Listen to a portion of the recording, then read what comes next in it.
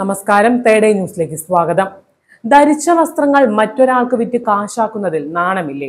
പാവങ്ങൾക്ക് ദാനമായി നൽകിക്കൂടെ?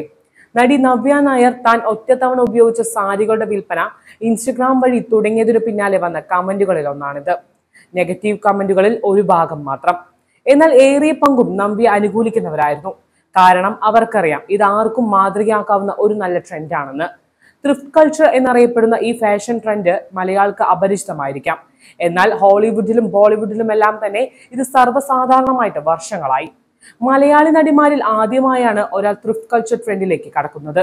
ഒന്നോ രണ്ടോ തവണ ഉപയോഗിച്ച വസ്ത്രങ്ങളോ ആക്സസറീസുകളോ ഫാഷൻ വസ്തുക്കളോ വിൽക്കുകയോ വാങ്ങുകയോ ചെയ്യുന്ന രീതിയാണ് ത്രിഫ്റ്റിംഗ് സമൂഹ മാധ്യമങ്ങളിലൂടെയാണ് ഇത്തരം ബിസിനസ് കൂടുതലായും നടക്കുന്നത്. രണ്ടായിരത്തി പതിനേഴ് മുതൽ ത്രിഫ്റ്റ് കൾച്ചറിന്റെ ഭാഗമായിരുന്ന ഒരാൾ കൊച്ചിയിലുണ്ട്. ആൻ ബെഞ്ചമിൻ സോപ്രൂം എന്ന പേരിൽ താൻ ആരംഭിച്ച വെബ്സൈറ്റ് ഹിറ്റായിരുന്നു.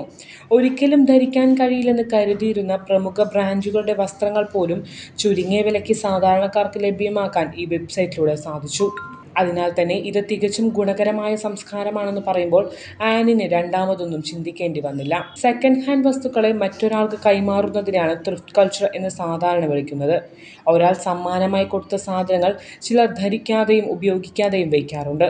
അത്തരം സാധനങ്ങൾ മറ്റൊരാൾക്ക് നൽകി അതുവഴി പണം സമ്പാദിക്കാം. ചിലർ ശരീരവണ്ണം കുറച്ചതിനു ശേഷം ഇടാമെന്ന് വയ്ക്കുന്ന തുണികളും അലമാരയിൽ കാണും. ഒടുവിലത് ആർക്കും ഉപകാരമില്ലാതെ പോകുന്നു. അത്തരക്കാരും ഞങ്ങളെ സമീപിക്കാറുണ്ട്. കാലം മാറിയിരിക്കുന്നു.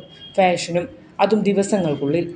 ട്രെൻഡിനൊപ്പം സഞ്ചരിക്കുന്ന വിദ്യാർത്ഥികളുടെ ഉൾപ്പെടെ ഡ്രസ്സിംഗ് സ്റ്റൈൽ അനുനിമിഷമാണ് മാറിക്കൊണ്ടിരിക്കുന്നത്.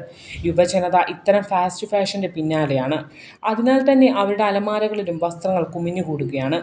ഒരു പരിപാടിക്ക് ധരിച്ച വസ്ത്രം മറ്റൊരു പരിപാടിക്ക് ധരിക്കാൻ മടിയുള്ളവരും ഏറെയുണ്ട്. അത്തരക്കാരും ഒറ്റത്തവണ ഉപയോഗിച്ച വസ്ത്രം മറിച്ചു വിൽക്കാൻ മുന്നോട്ട് വരുന്നുണ്ട്.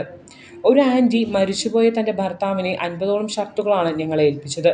ഇത് നിങ്ങൾ ആർക്കു വേണമെങ്കിലും കൊടുത്തോളൂ എന്നാണ് അവർ പറഞ്ഞത്. കാരുണ്യത്തിന്റെ ഇഴയടുപ്പത്തിലുമാണ് ത്രിഫ്റ്റിംഗ് കേരളത്തിൽ പച്ചപിടിക്കുന്നതെന്നും ആനിന്റെ വാക്കുകൾ വ്യക്തമാക്കുന്നു. ന്യൂസ് ഡെസ്ക് പേടൈ ന്യൂസ്.